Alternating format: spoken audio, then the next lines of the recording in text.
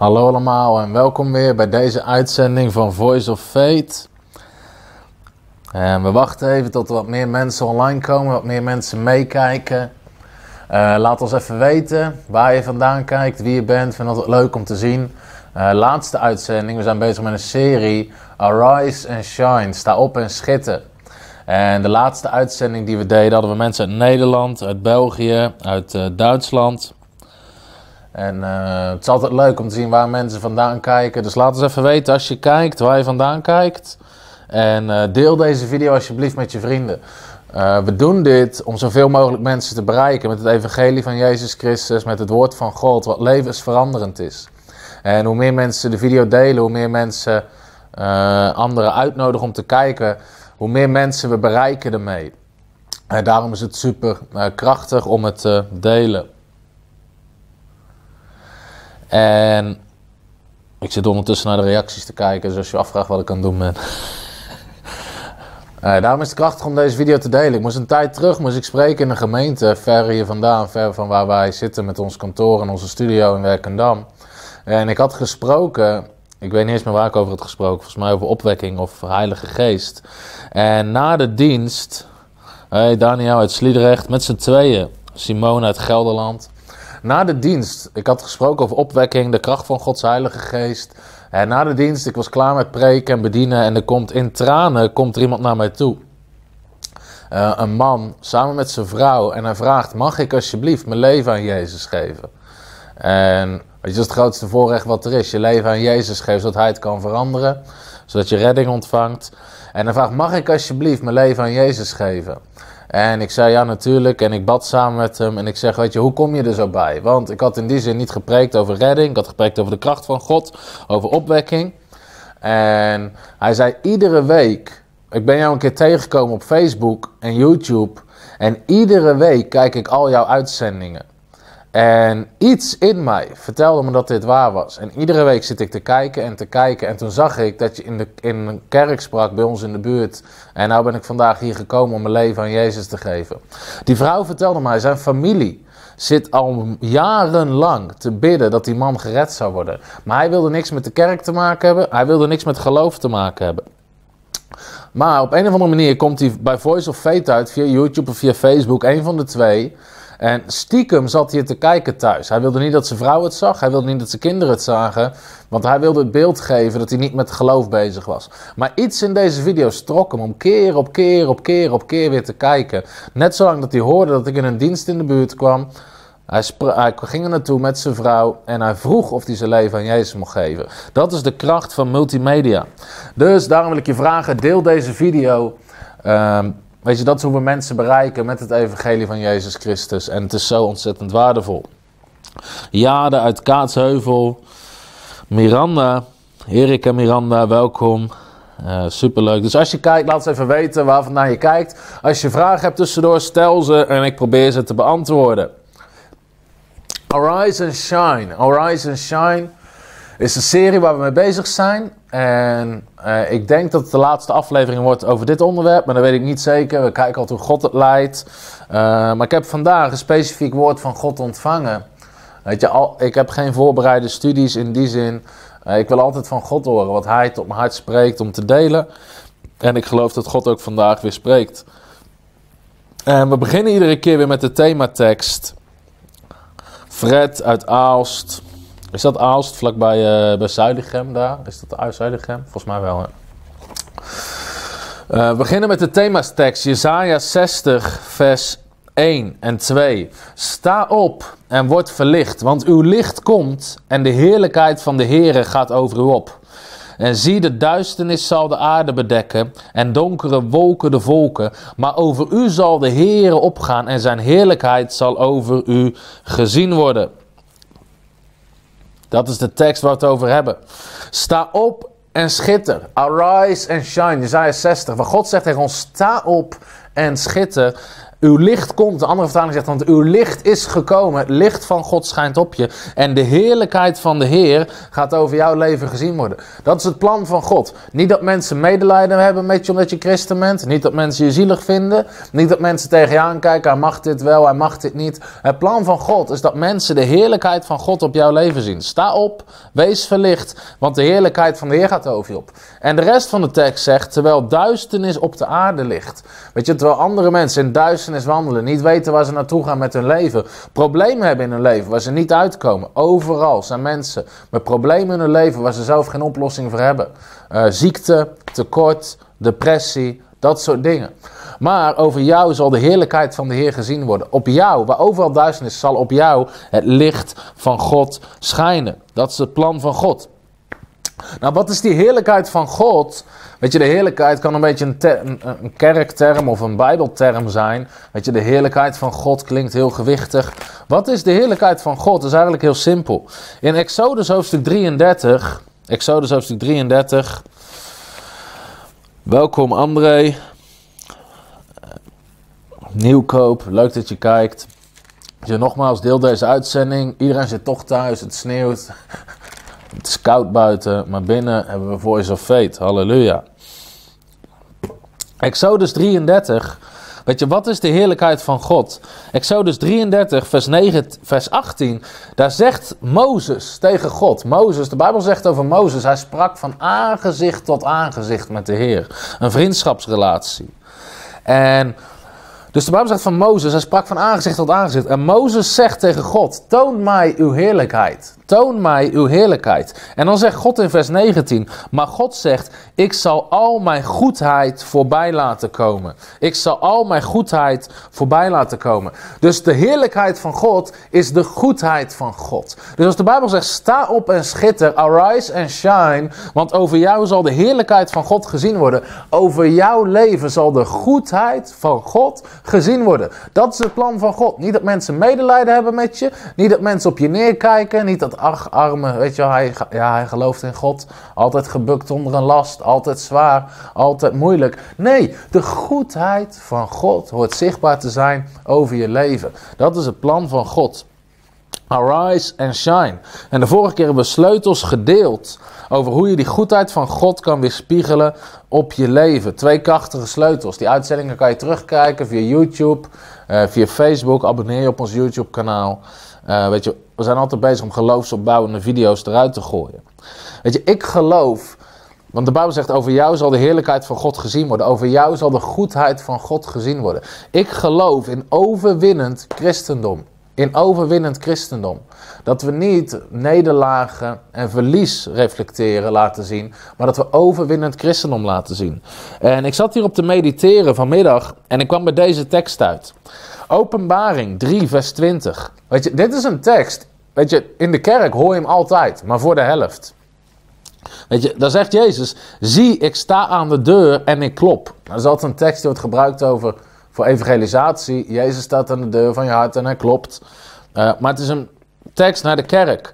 Als iemand mijn stem hoort en de deur opent, zal ik bij hem binnenkomen en de maaltijd met hem gebruiken. Wat spreekt over gemeenschap, over tijd met Jezus doorbrengen. En hij met mij.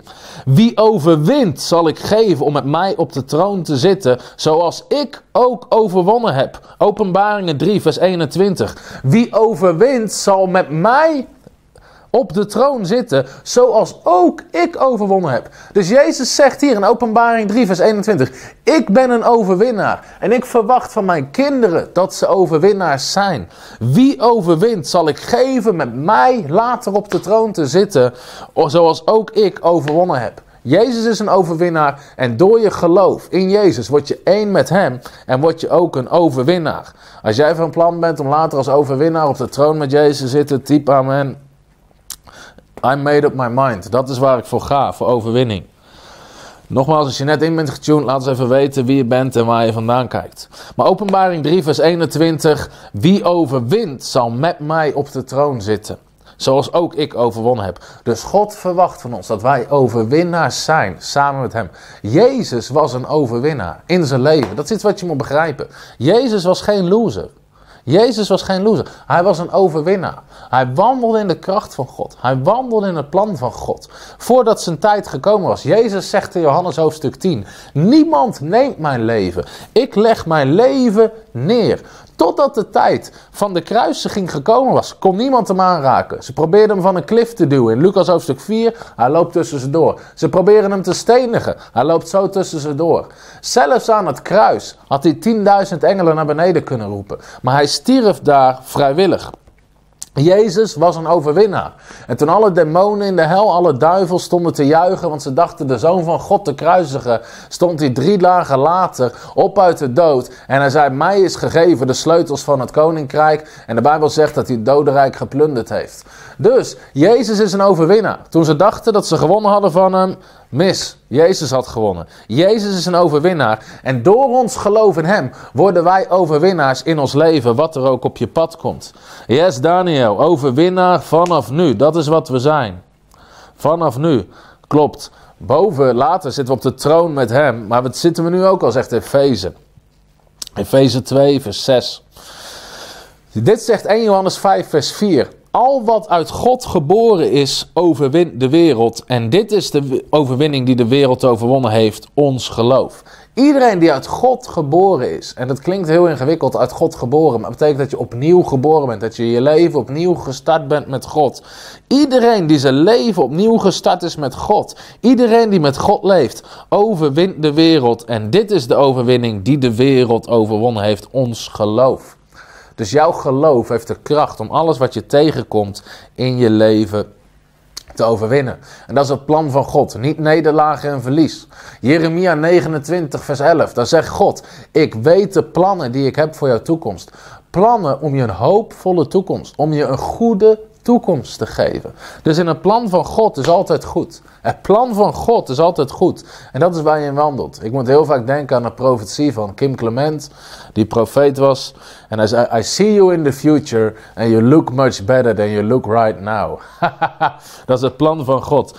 I see you in the future and you look much better than you look right now.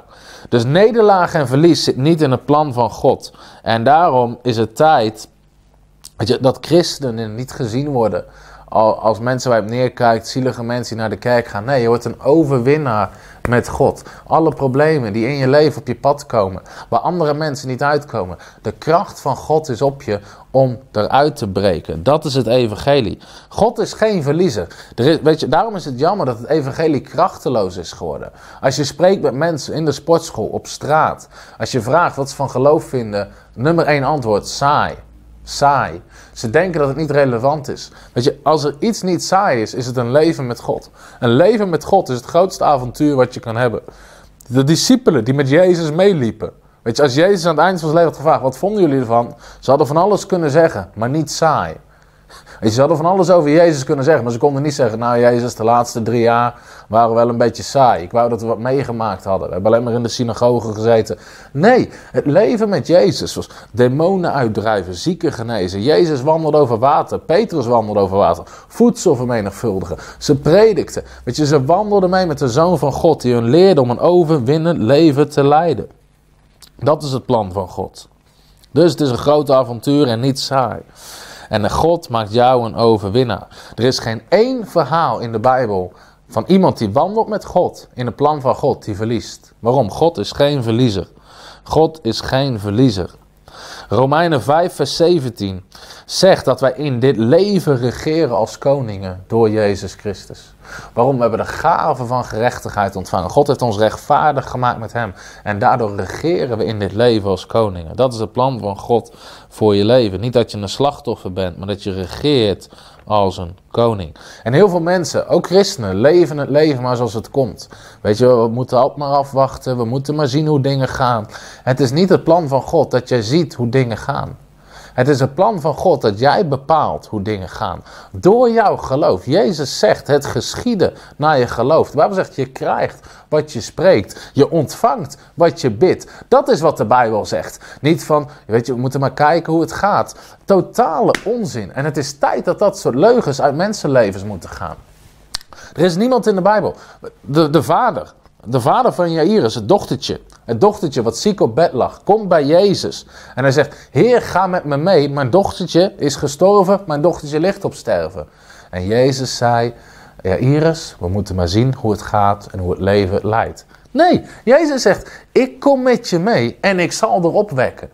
Dat is, Jezus wist wat er ging gebeuren. Door zijn geloof in God bepaalde hij wat er ging gebeuren. Hij wachtte niet af wat er ging gebeuren. Toen iedereen in paniek was, in die boot. Jezus lag te slapen. Ze maken hem wakker. Heer, het stormt. Loop water in de boot te vergaan.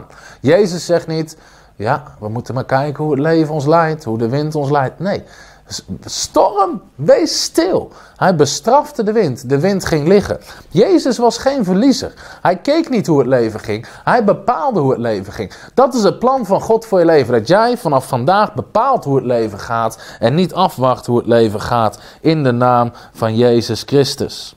Halleluja. Daniel zegt, we zien wel waar het schip strandt. Nee, een schip vaart met Jezus als kapitein. Dat is inderdaad wat we doen. En daar geloof ik in. En dat is waar we voor staan met frontrunners. We maken mensen frontrunners voor het Koninkrijk van God. Mensen die voorop lopen. Mensen die voorop lopen in de plannen en het Koninkrijk van God. En we maken je krachtig in dit leven. En weet je, als je rondkijkt zelfs in de kerk, op allerlei plekken. Er zijn twee soorten, er zijn twee soorten mensen. Mensen met een verliezersmindset, mensen met een overwinnaarsmindset. Sommige mensen altijd problemen, moeilijk, lastig. En er zijn mensen die altijd staan in overwinning, altijd weer gaan en weer doorgaan en weer doorgaan. Voor overwinning naar overwinning. En dat is de mindset die God in ons leven wil hebben. Dat we de mindset hebben van een overwinnaar. Daar hebben we de vorige keer over gesproken en de vorige keer hebben we daar twee sleutels over gegeven. En ik wil deze, deze les, deze uitzending, willen kijken naar drie handelingen. Drie handelingen die jou een succes maken. Of die jou laten schijnen in dit leven. Drie handelingen die je kan doen. En die handelingen die ik ga bespreken zometeen zijn geen hele populaire dingen om te bespreken in de kerk. Uh, alleen soms lijkt de kerk, soms lijkt christen nog bijna op een McDrive. Weet je wel, mensen pikken, dit vind ik lekker, dat vind ik lekker, het mag niet te lang duren, ik wil zo weer buiten staan.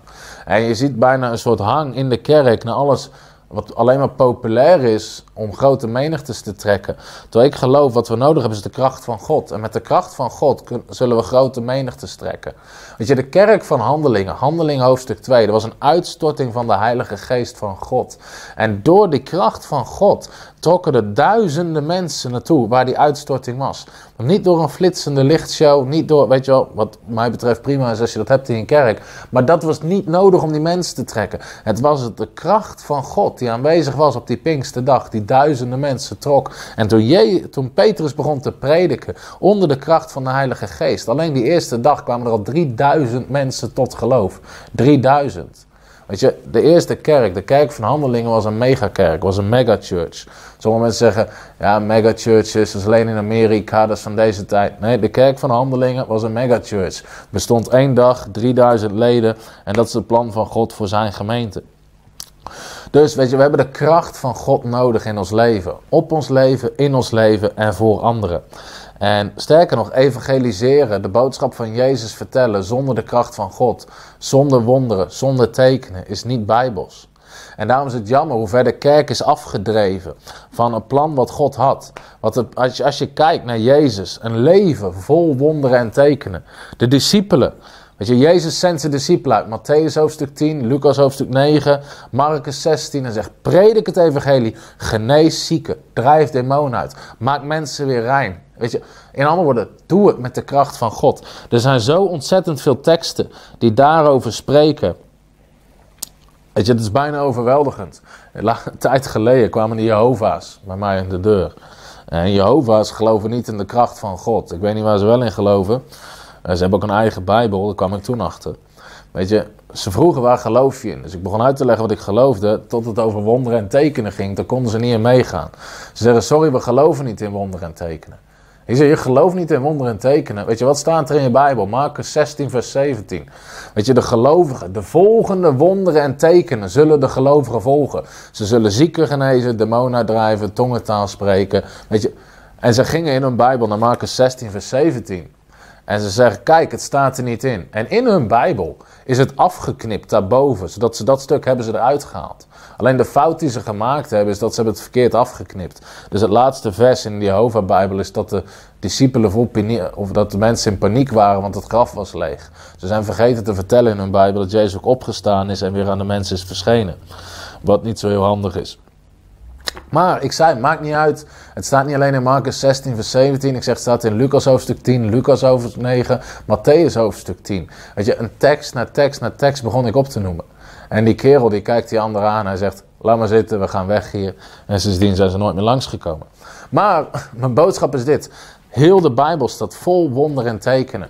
En het boek Handelingen is Gods model voor de kerk, hoe het eruit hoort te zien. Als je wonderen uit, de kerk van, uit het boek Handelingen zou scheuren, houd je geen bladzijde over.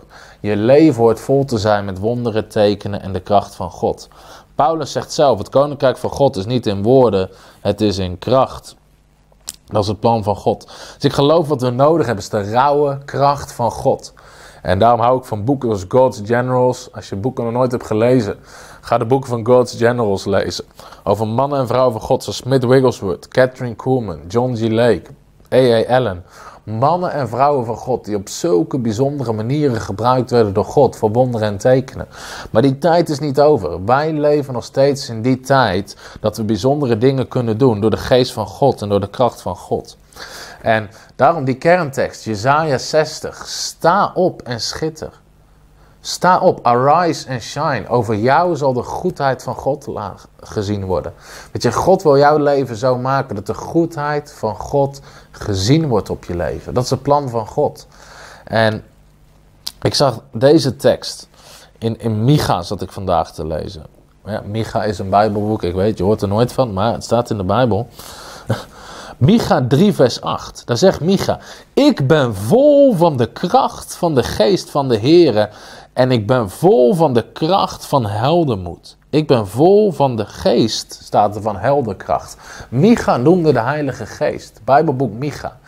Ik ben vol van de geest van heldenkracht. God wil jou een held maken. Daar gaat deze serie over. Arise, sta op en schitter. Arise and shine. Waarom? Wat doen helden? Als je kijkt naar als je kijkt naar, ik weet niet eens hoe die, hoe die programma's heten tegenwoordig. Vroeger had je Nickelodeon en uh, weet ik veel, kinderprogramma's. Weet je, het gaat altijd over een held. Wat doen helden? Ze helpen andere mensen uit de problemen. Ze helpen andere mensen uit de problemen. God wil jou een held maken voor jouw omgeving. Ik ben vol van de geest van helderkracht, schrijft Micha. Ik ben vol van de geest van helderkracht. Als jij vol bent van de geest van helderkracht om anderen te helpen, type amen. En laat ons weten dat je vol bent van de geest van helderkracht. Maar dat is, wat, dat is wat helden doen. Ze helpen anderen uit de problemen. Dat is wat Jezus kwam doen. In Lucas hoofdstuk 4 beschrijft Jezus waarom hij kwam. Hij zegt, de geest van God is op mij om aan armen het evangelie te verkondigen, om zieken te genezen, om gebroken mensen te genezen, om gevangenen vrij te zetten. De geest van God was op Jezus om anderen te helpen. De geest van God is op jou om anderen te helpen. Dat is waarom de geest van God op je is. En dat is dat is hoe je kan opstaan en kan schitteren.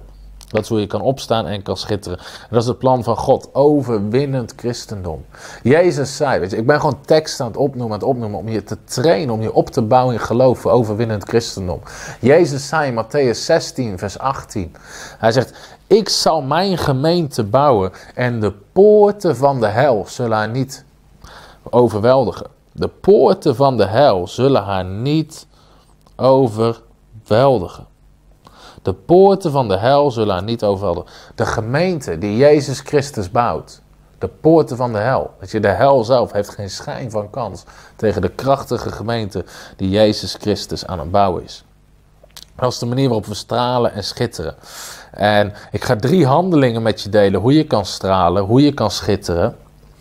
En we moeten begrijpen, er zijn sleutels in ons leven. Daarom is onderwijs zo belangrijk. Dat je begrijpt, God heeft een plan voor mijn leven. God heeft een bestemming voor mijn leven. En er zijn sleutels die God me kan geven. Waarmee ik verder kom in mijn leven. Ik heb hier geen sleutels bij de hand. Maar als ik een sleutelbos zou hebben, bijvoorbeeld bij mijn auto. Ik heb mijn sleutel nodig om in mijn auto te komen en verder te komen. Ik heb sleutels nodig om in mijn, in mijn, in mijn videostudio te komen. God heeft sleutels voor je leven. Jezus zei zelf: Ik zal je de sleutels van het koninkrijk van de hemel geven. Matthäus 16, vers 19. Ik zal je de sleutels van het koninkrijk van de hemel. Dus het koninkrijk van God, wat hier nu al op aarde is, werkt met sleutels. Werkt met sleutels. En ik wil je drie sleutels geven of drie handelingen die jou laten schitteren in je leven. Heldenkracht, amen. Erik van Wijk. God wil je een held maken, net zoals Gideon, machtige held. Dus drie sleutels of drie handelingen eigenlijk die we kunnen doen in ons leven die ons laten schitteren. En het zijn geen hele moeilijke dingen, maar het zijn wel dingen die Jezus ons laat zien. Waarvan Jezus zegt, als je dit doet, ga je schitteren in je leven. Matthäus hoofdstuk 6, daar noemt Jezus drie dingen op die jou laten schitteren. En dan zegt hij, ik ga eerst lezen vers 5. En wanneer u bidt, zult u niet zijn als de huigelaars. Want die zijn er zeer op gesteld om in de synagogen en op de hoeken van de straten te bidden. En om door de mensen gezien te worden. Voorwaar, ik zeg u dat ze een loon al hebben. Maar wanneer u bidt, ga in uw binnenkamer. Sluit uw deur en bid tot de Vader, die in het verborgene is. En uw Vader, die in het verborgene ziet, zal u in het openbaar vergelden. Als u bidt, gebruik geen omhaal van woorden zoals de heidenen, want ze denken dat ze door de veelheid van hun woorden gehoord zullen worden. Word aan hen niet gelijk, want uw vader weet wat u nodig hebt voordat u tot hem bidt. Jezus zegt hier, een van de handelingen die we kunnen doen, een van de drie, is bidden. Een krachtig gebedsleven. Jezus zegt, wanneer je bidt, ga in je binnenkamer, sluit de deur, bid tot God. En hij zegt, dan, zegt hij daarna, je vader die in het verborgene is, en die jou in het verborgene ziet, zal je in het openbaar vergelden.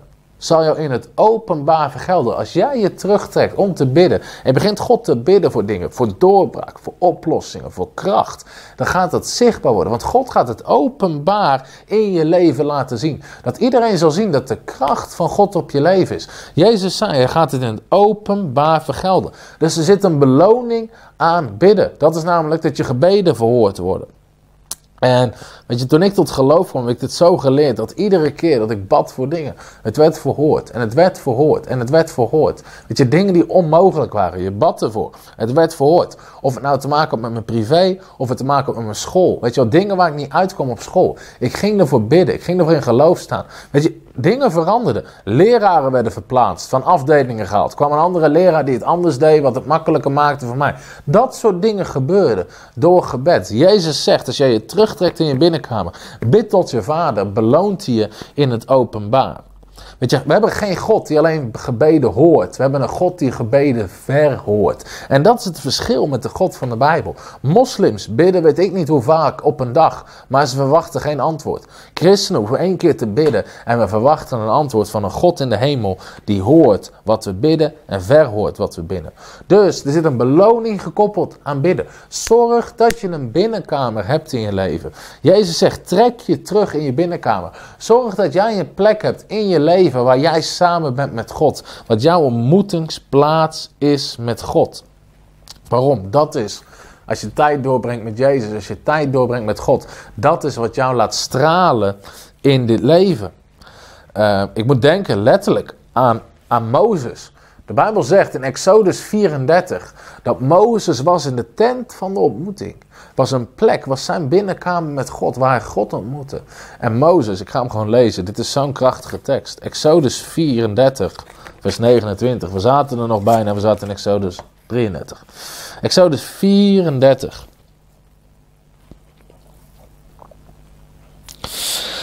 Hij was daar 40 dagen, 40 nachten bij de Heer. Wauw, Mozes was 40 dagen, 40 nachten in de tegenwoordigheid van God. En dan staat er, en het gebeurde toen Mozes van de berg afdaalde. Hij was op de berg bij God.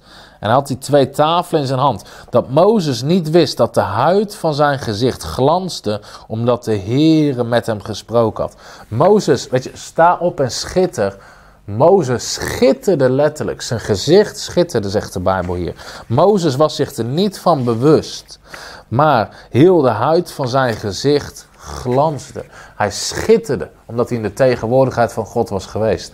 Als jij wil schitteren in je leven, is het zo'n grote sleutel om in de tegenwoordigheid van God te zijn. Dat je zal schitteren, net als Mozes. Als je dit hierover gaat lezen in het Nieuwe Testament, dan schrijft Paulus in de Korinthe. Hij zegt dat van Mozes was onder het oude verbond. Inmiddels hebben wij een verbond met nog meer heerlijkheid. Met nog meer van Gods kracht. Het nieuwe verbond met Jezus Christus. Het Nieuwe Testament. Waar God nog meer in ons leven wil schitteren. Kan je lezen in Korinthe. Dus bidden zorgt ervoor dat je schittert met God. In handeling hoofdstuk 4 worden discipelen uh, handelingen Jezus is opgevaren naar de hemel. De discipelen worden ernstig vervolgd. En ze hebben dan een wonder gedaan en ze moeten, uh, moeten zich verantwoorden. En dan zegt de Bijbel dit, ik ga hem voorlezen. Weet je, ik wil teksten niet alleen opnoemen, ik wil dat je ze leest of dat je ze hoort zoals het er precies staat. Want dat is wat ons leven verandert, het woord van God. Handelingen 4, vers 13.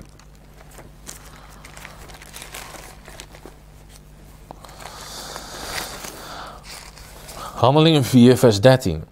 Toen ze nu de vrijmoedigheid van Petrus en Johannes zagen, merkten zij dat het ongeleerde en eenvoudige mensen waren. Maar ze verwonderden zich en ze herkenden hen als mensen die met Jezus geweest waren. Jezus was al lang niet meer op aarde in deze tijd. Maar mensen keken naar hun en ze zagen ze als mensen die bij Jezus geweest waren. Is dat wat mensen zien in je leven? Dat jij een binnenkamer hebt, dat je tijd doorbrengt met Jezus. Weet je, want dat is waardoor je gaat schitteren en waardoor gaat schijnen. En weet je, dus zorg dat je een binnenkamer hebt. Zorg dat dat is waardoor je gaat schitteren en schijnen in je leven. Als je bent één gebed soms bij, bij een oplossing verwijderd. Eén gebed. Weet je, God is een God die gebeden verhoort. Weet je, sommige mensen hoor alleen maar God beschuldigen. Waarom is dit aan de hand? Waarom? Weet je, stop met God beschuldigen. Weet je, ga bidden. Ga God vragen. Niet om God te beschuldigen. Weet je, ga bidden. Ga vragen God om hulp als je hulp nodig hebt in je leven. En God biedt hulp aan. Dus, bidden is een grote sleutel om de heerlijkheid van God te laten zien in je leven. Als je vragen hebt tussendoor, stel ze. Ik probeer ze te lezen. En dan te kijken of we die kunnen beantwoorden. Dus bidden is een van de drie handelingen die we doen. De, de tweede handeling is vasten. Vasten.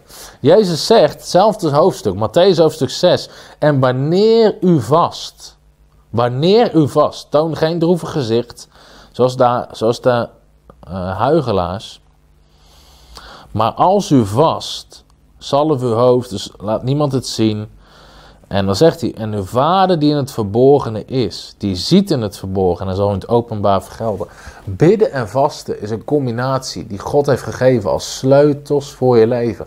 Bidden en vasten. Bidden en vasten. Ik geloof. Jezus zegt niet hier, hij zegt niet als je vast. Zo van, joh, je kan het doen, maar als je het niet doet. Hij zegt, wanneer je vast. Jezus gaat ervan uit dat zijn volgelingen mensen zijn die bidden en vasten. Hij zegt, wanneer je bidt, wanneer je vast. Dus het gaat niet om, om, om kijken of je doet. Nee, Jezus verwacht het, een levensstijl. En vasten is zo'n ontzettende kracht om in je leven te gaan schijnen. Zelfs Jezus. Jezus is de zoon van God. Hij komt naar deze aarde voordat hij zijn bediening begint. 40 dagen aan het bidden en vasten. De geest van God leidt hem de woestijn in. 40 dagen aan het bidden en vasten. Als Jezus het nodig had om te bidden en vasten, hebben wij het ook nodig. En voordat je echt krachtig vrijgezet wordt, geloof ik in je leven, is bidden en vasten een grote sleutel. Daniel vraagt, is er een tijdsframe voor bidden en vasten? Nee, in zoverre, soms zien we gewoon in de Bijbel dat mensen aan bidden en vasten zijn. Uh, Daniel, vaste 21 dagen. Daniel, hoofdstuk 10. Jezus, vaste 40 dagen. Uh, maar je kan het zelf weten. Sommige mensen vasten één dag in de week. Uh, ik doe meestal een paar keer op een jaar een week. Ik zit nu in 21 dagen bidden en vasten. op basis van Daniel hoofdstuk 10, 21 dagen bidden en vasten. Maar zeker als je nog nooit gedaan hebt, begin met een dag, begin met twee dagen. En vasten is geen eten tot je nemen. Waarmee je zegt, Heer, ik ben hongeriger naar u dan naar eten in mijn mond. En wel drinken, We hebben, laat ook zien, Jezus dronk. Dus drink wat mijn part water, of soms bouillon of sap om aan het energie te komen, wat kracht. Uh, maar weet je, begin met één dag, je kan het uitbouwen. Uh, en op een gegeven moment misschien 21. Maar begin gewoon met één dag of twee dagen of drie dagen. En neem tijd als je aan het vasten bent om ook te bidden. Als je alleen aan het vasten bent zonder te bidden, dat is jezelf uithongeren. Dus bidden tegelijkertijd is een grote sleutel. Uh, om tegelijkertijd met het vasten te doen. Maar vasten en bidden zet je vrij in je bestemming en je volle potentie in God. Jezus, zoon van God, had het nodig om te bidden en te vasten 40 dagen lang.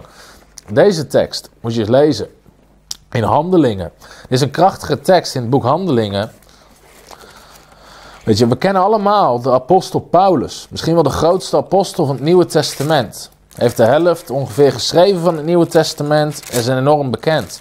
Maar hoe werd Paulus vrijgezet in zijn bediening? Staat in Handelingen 13. Door vasten. Door vasten. Handelingen 13, vers 2. Dat spreekt over Barnabas en Paulus en nog een paar anderen. En heet hij nog Saulus. En dan terwijl zij de Here dienden en vasten. Handelingen 13, vers 2. Terwijl zij de Here dienden en vasten, zij, de Heilige Geest, zonden voor mij af Barnabas en Saulus voor het werk waar ik ze voor geroepen heb. Toen vasten zij, toen baden zij en ze legden hun handen op en ze lieten hen gaan.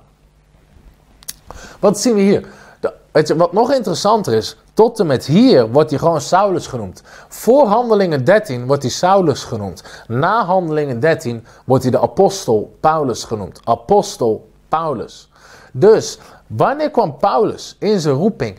Tijdens ze bidden en ze vasten. Ze dienden de Heer met bidden en vasten. En tijdens die tijd zei de Heilige Geest: Zet Paulus en Barnabas apart. Of Saulus en Barnabas, zet ze apart voor het werk waar ik ze voor geroepen heb. Tijdens het bidden en het vasten. En het lanceerde hem in zijn roeping. Dus dat is wat bidden en vasten doet. Het is een handeling die jij uit kan voeren, zodat je kan gaan schitteren.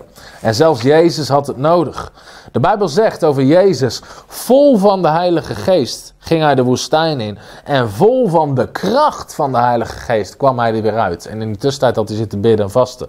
Lucas 4, vers 1 en vers 14. Vol van de Heilige Geest ging hij erin. Vol van de kracht van de Heilige Geest kwam hij eruit.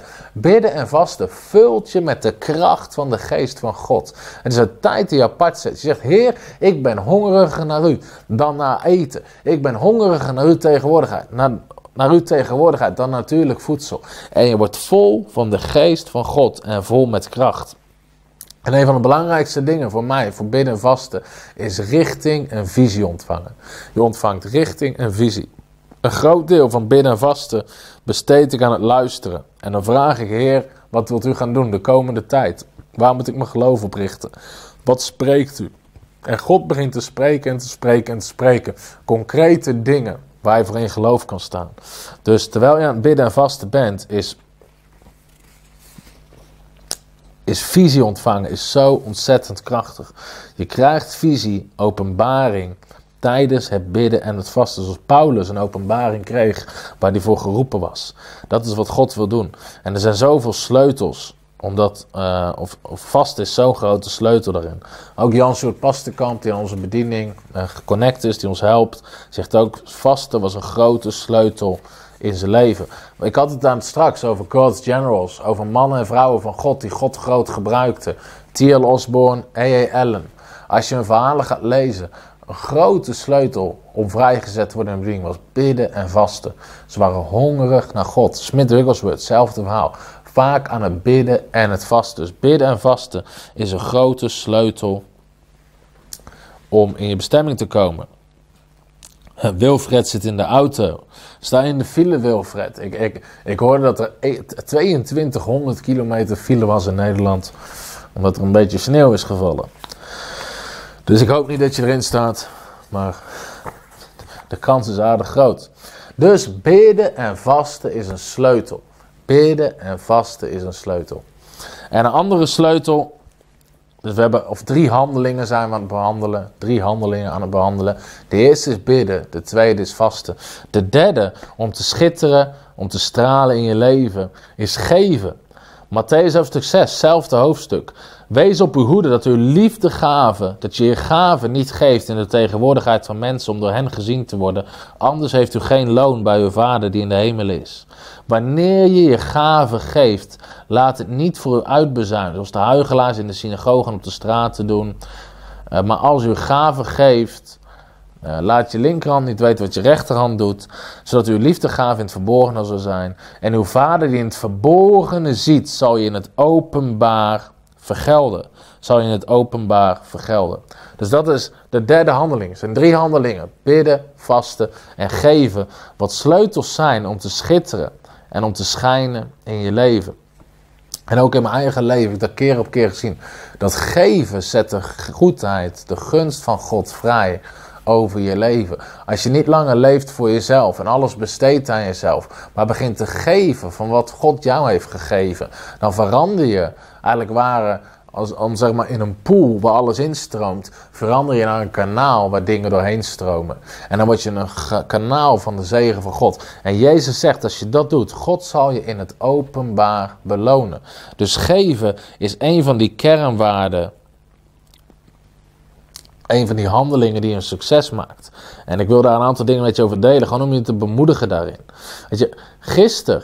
Uh, vandaag, nee, vandaag nog kreeg ik een berichtje binnen van iemand.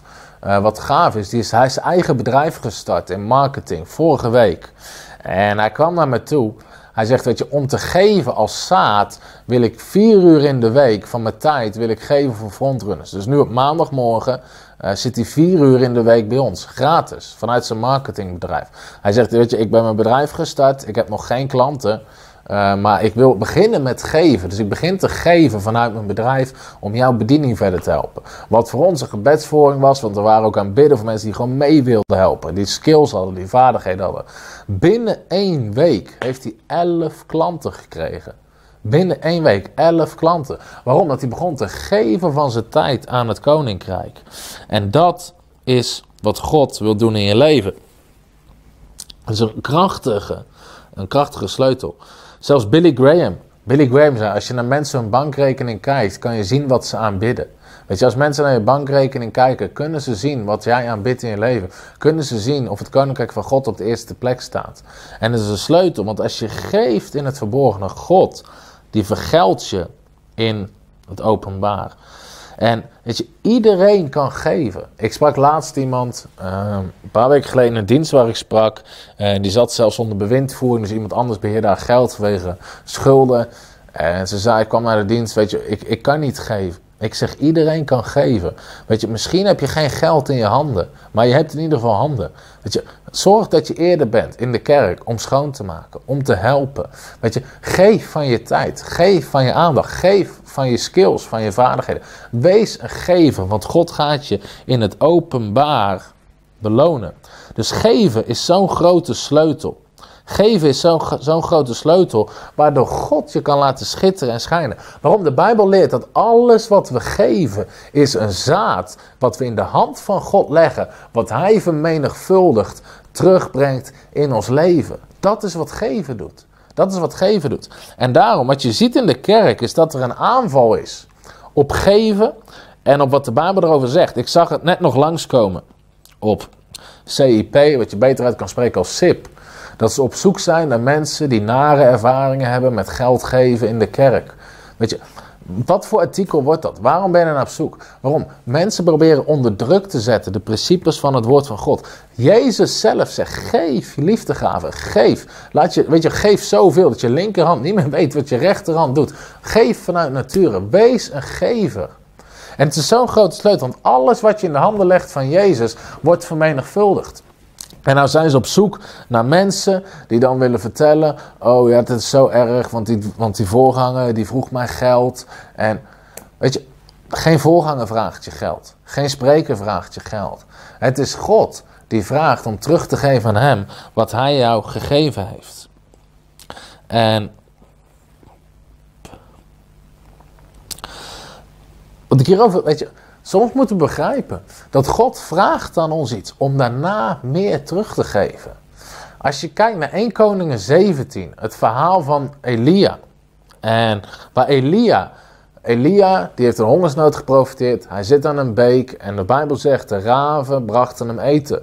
En totdat dat stopt. En dan zegt God, ga naar die en die stad, want ik heb een weduwe opgedragen om voor je te zorgen. En dan kan je denken, weet je, in een grote stad zijn rijke zaken mensen, is een koning, weet je, mensen onder, weet je, van allerlei soorten mensen, mensen met veel geld.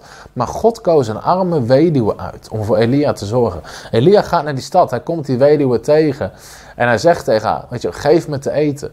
En ze zegt, ach profeet, dit is de laatste maaltijd die ik heb. Ik ga het opeten met mijn zoontje en daarna sterven we. Weet je wat Elia zegt? Hij zegt, weet je, maak eerst klaar voor mij. Hij vraagt van die vrouw een geloofsdaad. En die vrouw, die doet het. En de Bijbel zegt, meel in de pot raakte niet op en de olie stopte niet met stromen nadat zij aan de profeet gegeven had. Weet je, als Elia dat vandaag de dag had gedaan, had hij bovenaan gestaan in iedere krant, weet je, prediken, vraag laatste maaltijd van arme weduwe, welvaartsevangelie, ze stelen van de mensen. Nee, Elia was niet aan het stelen van de mensen. Weet je, ze gaf een zaad aan Elia, wat zoveel teruggaf aan haar, dat het meel en de olie niet opraakte. En zij in de gezin aten alle dagen dat ze het nodig had, zegt de Bijbel. Dus Elia vroeg niks van haar, om iets van haar af te nemen. Hij vroeg iets van haar, zodat God daarna meer bij de terug kon brengen. Dat is wat geven doet in je leven. Daarom is geven zo belangrijk. En dat we leren om te geven en niet, weet je, in het Engels is de les: don't eat your seed. Don't eat your seed. Wat die vrouw in haar hand was, wat die vrouw in haar hand had, was een zaad wat ze kon geven. Amen, Daniel. Het was een geloofsopdracht en God eert geloof. Dat soort werk heb ik keer op keer in mijn leven gezien.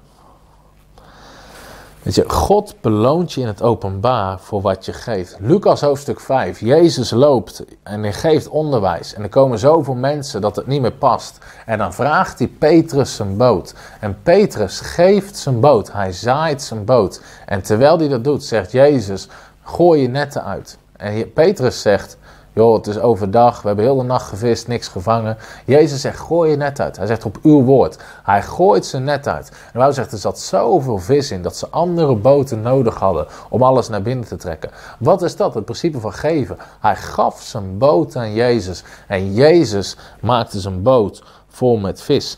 Dat is het plan van God. Daarom is geven zo ontzettend krachtig. 2 Korinthe 9 spreekt hierover. Wat de kracht is van geven. 2 Korinthe 9.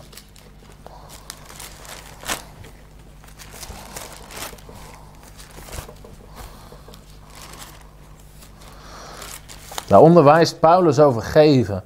En dan zegt hij dit.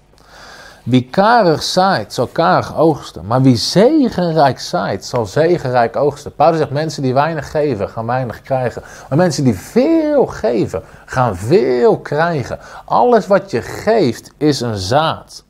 Alles wat je geeft, is een zaad. En daarom, geef aan het evangelie. Je bent een bouwer van het evangelie. En God beloont je altijd in het openbaar. Zaaien en oogsten zijn een van de krachtigste principes die er zijn. Als je kijkt naar mensen in de Bijbel, weet je, God zelf is een gever. God zelf is een gever. Maar ook mensen in de Bijbel, die wandelden met God. Jezus zegt tegen de Farizeeërs, hij zegt, jullie zouden de werken van je vader Abraham moeten doen. In plaats van, ze hadden het allemaal over de aartsvaders en de wet van Mozes. Jezus zegt, je, je kan jezelf wel noemen het geslacht van Abraham, maar je doet de werken van Abraham niet. En de Bijbel zegt van de gelovigen dat we wandelen in de voetsporen van de gelovige Abraham. Abraham was een radicale gever in zijn leven. De Bijbel zegt dat hij gaf tiende. Hij gaf tiende aan de Heer. En zelfs op oude leeftijd, de Bijbel zegt, hij zit voor zijn tent. In de vette ziet Abraham drie vreemdelingen. Weet je, Abraham op dat moment in de negentig. Hij staat op, hij rent er naartoe en hij dwingt ze om bij hem thuis te komen eten en drinken. Abraham was een gever. Hij gaf, hij was bereid om zijn enige zoon te geven. Op een gegeven moment overlijdt zijn vrouw en hij wil een graf hebben. En iemand zegt, dit graf mag je hebben. Abraham zegt, ik wil het niet hebben. Ik wil het kopen voor de volle prijs. Abraham was een gever. Jezus Zegt, doe de werken van je vader Abraham. Wees een gever. Het is de zegen van Abraham die daardoor op je leven komt. Waarom? In het Engels zeggen ze, you can never beat God giving. Je kan nooit meer geven dan God je kan teruggeven. God kan altijd meer teruggeven dan jij kan geven. De Bijbel zegt in Spreuken 11, vers 24: Er zijn mensen die mild uitdelen, die veel uitdelen en ze zullen nog meer ontvangen. Maar er zijn ook mensen die meer inhouden dan rechtmatig is en het is ze tot gebrek. Weet je, als je dingen inhoudt en terughoudt, voor jezelf houdt, is het je tot gebrek. Maar Jezus zegt: wees een gever en God zal je in het openbaar belonen. Dat is de kracht van geven. En dit zien we in het leven ook van Jacob. Laatste voorbeeld wat ik aangehaald is het voorbeeld van Jacob. Jacob, op een gegeven moment hij vlucht bij zijn broer vandaan, bij zijn ouders vandaan. Jacob is zo arm. Ik ga deze tekst lezen, want bijna niemand kent hem. Jacob is zo arm dat hij, heeft een staf en hij slaapt met zijn hoofd op een steen in Genesis 28. Dat is alles wat Jacob heeft. Hij slaapt op een steen en hij heeft een staf in zijn handen. Maar Jacob doet een belofte aan God. Hij zegt: Heer, weet je, als u mij zegent, ga ik u van alles een tiende deel geven. Jacob besluit, ik geef van alles wat God me geeft 10% weg. Jacob 28. Genesis 28, vers 20. Deze steen die ik als gedenkteken overeind heb gezet, zal een huis van God zijn. En alles van wat u mij geven zal, zal ik een tiende deel geven. Op dat moment dat Jacob die belofte maakt om aan God tiende te geven, is hij zo arm dat hij met zijn hoofd op een steen slaapt en alleen een staf in zijn hand heeft. Maar de Bijbel leert dat als hij later terugkomt, dat de zegen van God is op zijn leven. Dat zelfs als Laban, zijn schoonvader, hem keer op keer probeert te bedriegen, dat God hem zegent en zegent en zegent. Terwijl Laban van hem probeert af te nemen door allerlei vieze trucjes. Dat wat hij ook probeert, dat God hem zegent. Op een is dat trucje met de vee. Dat Laban zegt, weet je, ja, je mag alleen het vee zelf houden wat bijzondere spikkels heeft. En God zorgt ervoor dat al het vee die spikkels krijgt. Waarom? De zegen was op hem. Want, want Jacob had een belofte gemaakt. Ik ga God van alles tiende geven. Dat is wat de Bijbel belooft in Malachi hoofdstuk 3. Daar zegt God, geef aan mij je tiende. En ik zal de kaalvreten bestraffen en zegen over je uitgieten, zodat er geen voorraadschuren genoeg zullen zijn. Dat is wat geven doet. Het zet de zegen van God vrij. Bestraft de kaalvreter. Wat van je probeert te stelen. Wat een beeld is van de duivel. Weet je, net als bij Jacob. Laban was een kaalvreter. Hij probeerde van hem te stelen. Maakte niet uit wat hij probeerde. Waarom? God maakte hem toch wel voorspoedig. Amen. Het is tijd om te geven aan het koninkrijk van God. God is een gever. Jacob was een gever. Abraham was een gever. Jezus was een gever. Weet je, op een gegeven moment, Judas gaat Jezus verraden. En de andere discipelen zien hem weglopen. En dan zeggen ze, ze, ze, dachten, Jezus zal wel weer gezegd hebben, ga geld geven aan de armen. Jezus had de reputatie dat hij geld gaf aan de armen. Dus Jezus was een gever. Maar alles wat we in de handen van Jezus leggen, wordt vermenigvuldigd. Dat is het principe van God. Geven, zaaien en oogsten. En dat is hoe God werkt, keer op keer op keer. En dat is dus een principe wat jou laat schitteren in dit leven. Drie handelingen: bidden, vasten en geven. Drie handelingen die God in het openbaar beloont en jou naar de top brengt als je het doet. Waardoor je kan opstaan en kan schitteren. Dus dat is het plan van God. Als hier nog vragen over zijn, hoor ik het graag. Want we zijn nu nog online voor vragen. En verder, weet je, als je wil geven, als je gaat zeggen, ik wil geven. Weet je, we geven je de mogelijkheid om te geven. Je kan typen hashtag donate, hekje donate en dan krijg je een link om te geven. Verder staan we in geloof voor 250 extra maandelijkse partners. Of het zijn er nog 240 geloof ik. Maar we staan in geloof voor ongeveer 250 extra maandelijkse partners. En weet je, als jij geeft, als je partner wordt, God gaat je zegenen, maar wij ook. Waarom? We geloven in samenwerken in het Koninkrijk van God. Dus we hebben een regel, iedereen die in januari, februari partner wordt voor 35 euro of meer in de maand, die geven al onze producten gratis. Wat onder andere mijn boek is over het spreken in tongentaal. Als je hem nog niet hebt, 50 redenen om te spreken in tongentaal. 50 redenen sturen we naar je op. Een CD, Dromen van God. De Bijbel zegt in Handelingen 2: God gaat zijn geest uitstorten en je zal dromen, dromen. In deze CD leer ik hoe je dromen van God kan dromen, wat voor iedere gelovige is. Ik heb het gehad in deze uh, uitzending over God's Generals. En ik heb er een USB-stick met videoonderwijs over, waarin ik vertel over de mannen en vrouwen van God. Smith Wigglesworth, Oral Roberts, A.A. Allen. Hoe God ze groot gebruikte, kostte normaal 30 euro per stuk. En ze, ze weet ik voor hoeveel uur videoonderwijs op.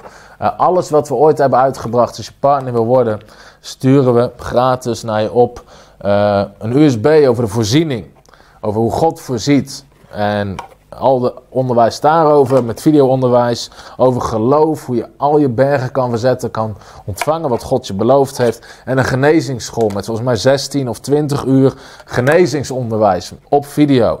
Dus als je partner wil worden, alles wat we hebben, sturen we naar je op. Gebruik de link in de beschrijving, www.frontrunnersministries.nl slash partners. Uh, of gebruik hashtag donate. En uh, waarom? We staan in geloof extra partners om het koninkrijk van God te bouwen. Als er verder nog vragen zijn, hoor ik het graag. We zijn nu nog online. We hebben drie sleutels gedeeld, drie handelingen die jou laten schitteren en schijnen in je leven. Bidden, vasten en geven. En de Bijbel zegt: sta op en schitter. Sta op en schitter. Dus als iemand nog vragen heeft, hoor ik het graag. En anders zien we jullie volgende week graag weer terug. Iedere maandag. Trouwens, donderdag, aanstaande donderdag, hebben we een extra live uitzending. Hoe 2019 jouw beste jaar ooit kan worden. 2019 jouw beste jaar ooit. Daar staan we in geloof. En daar geloven God voor hele concrete doelen. En aanstaande donderdag om 8 uur op Facebook Live gaan we delen. Ik samen met mijn vrouw Femke sleutels en wat we hebben ontvangen, wat we willen delen met je om 2019 jouw beste jaar ooit tot nu toe te laten worden. Dat is waar we voor geloven. Psalm 65, vers 12 zegt: U kroont het jaar met uw goedheid en uw voetstappen druipen van overvloed. Weet je, ik geloof God wil dit jaar kronen met zijn goedheid en daar gaan we voor. Zijn er nog vragen van mensen? Aankomende zondag, inderdaad, Daniel. Daniel, je zou bij ons in een team moeten. Daniel weet beter wat er gaande is dan mij. Aanstaande zondagavond, Revive-avond in Nieuwendijk. Verwacht de krachtige beweging van Gods Heilige Geest. Eén keer in de maand hebben we Revive-avonden. Waar we Gods Geest alle ruimte willen geven. Graag gedaan, Jade uit Kaatsheuvel. Bij de Efteling. Dunket, is ergens in Brabant.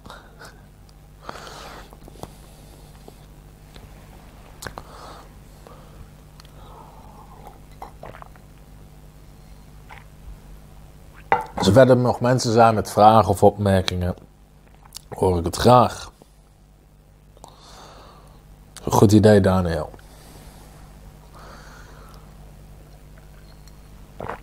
En anders, tot de volgende uitzending. Graag gedaan, Miranda. Weet je nogmaals, zetten alle video's we op YouTube. Volg ons op YouTube, Facebook, Instagram. Uh, we zijn constant content aan het uh, hoe noem je dat dan, het wegzetten om mensen op te bouwen, toe te rusten. Deel deze video's met mensen, want het is levensveranderend. Graag gedaan, Sylvia.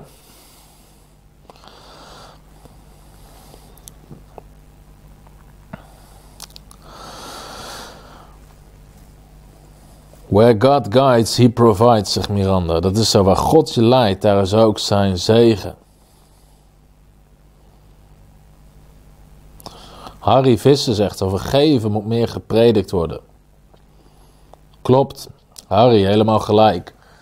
Uh, binnenkort komt er een boek uit, tenminste een boek, boekje. Ik heb een boek geschreven over de kracht van financieel partnerschap.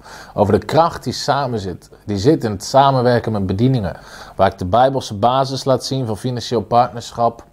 Uh, vijf voordelen die financieel partnerschap heeft. We moeten beseffen over financieel partnerschap Dat het niet zo is, je geeft een gift aan een bediening en that's it. Partnerschap is samenwerken om een doel te bereiken. En er zit een zegening aan gekoppeld die God geeft, alleen voor partners. Om alvast een tipje van de sluier op te lichten over dat onderwijs. Heel veel mensen quoten de belofte uit Filippenzen 4, vers 19. Mijn God zal voorzien overeenkomstig zijn rijkdom in heerlijkheid in Christus Jezus. En heel veel mensen quoten die belofte. Mijn God zal voorzien in alles wat ik nodig heb. Het is een belofte die alleen geldt voor partners.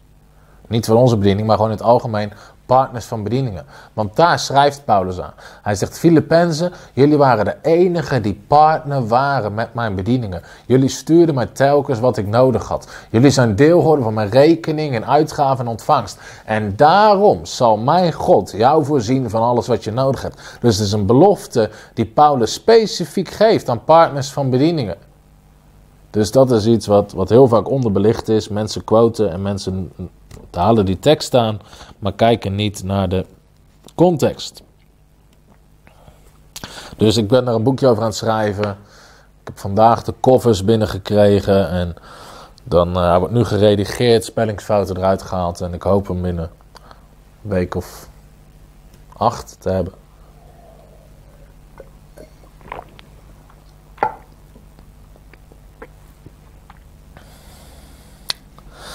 Oké, als er geen vragen meer zijn, dan was dit het voor deze uitzending van Voice of Fate. Nogmaals, als je wil geven, gebruik de link in de beschrijving als je partner wil worden.